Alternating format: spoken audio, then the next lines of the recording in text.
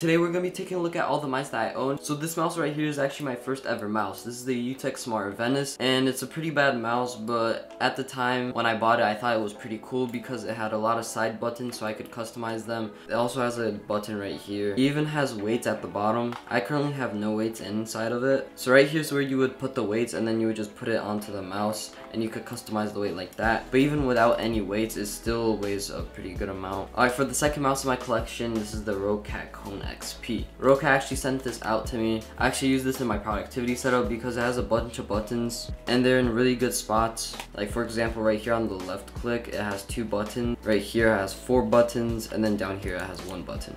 The RGB on this mouse is really cool. And yeah, it has also a left click and a right click on the scroll wheel, which is pretty cool. It's a wired gaming mouse, just like the last one. And yeah, overall, I just use it for my productivity setup, and it's been doing really well. I customized all the buttons for DaVinci Resolve, which is my editing software that I use. And yeah, it's been working great for me. By the way, if you guys want to buy or check out any of these mice, go to the links down below in the description. I'll have them there. And also, you guys can press on the link that says my Amazon storefront. Over there, it'll take you to a page on Amazon which is gonna have everything that's in my setup. And for the third mouse, this is the Roccat Burst Pro Air. This mouse is also from Roccat. They sent this out to me, and this is probably my second favorite mouse or my favorite mouse because I just really like the design.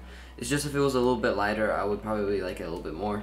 I really like these two buttons on the side. They're really big and they stick out. The RGB on this is insane. And it's also wireless, which is my favorite because I love wireless mice. And yeah, I really like using this when I don't feel like using my Razer Viper Ultimate. Yeah, to charge this, you use USB Type-C. And this mouse also does have a really long battery life, which is really good. You could change the DPI on the button on the top. It also has a scroll wheel with RGB. And yeah, it only has buttons on the left side, not on the right, which I really like. Because the Razer Viper Ultimate has buttons on both sides. Alright, second to last mouse is the Dierya Falcon. Dierya sent this out to me. And overall, it's not too bad of a mouse. It kind of feels cheap. As you can hear all the cracking. and the side buttons kind of feel cheap. Overall, this mouse has really good RGB, a pretty nice scroll wheel, and a really good cable. I really like the clicks on it.